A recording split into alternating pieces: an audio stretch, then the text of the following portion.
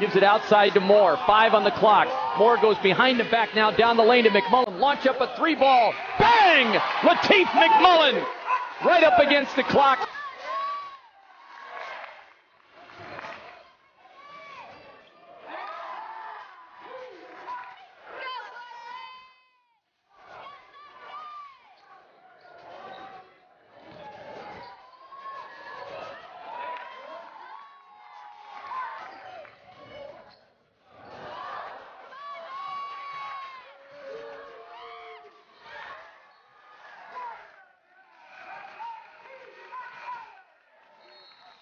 Lateef McMullan gets the high screen from Parker. Now comes back to the left. Hartoon, far corner three.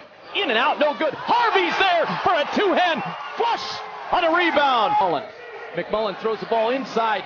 Moore pump fake to the basket with the left hand, and he scores it. Aaron Moore's got six, and the Vikings tie it at 26.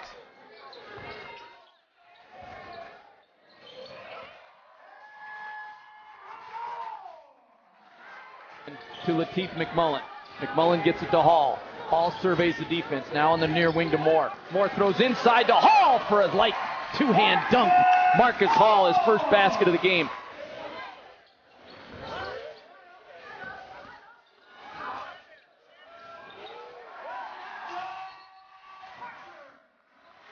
Nelson throws diagonally cross court. Winston's going to steal the basketball, race the other way, and lay it in softly with the right hand.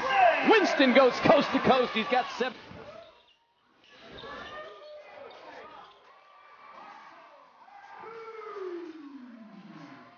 Lost the basketball to Hall. Hall throws it up the wing. Now down the lane to Parker. Parker races to the basket and lays it in. Assist McMullan. Basket by Parker. The Vikings have scored six straight and they cut it to a seven point game.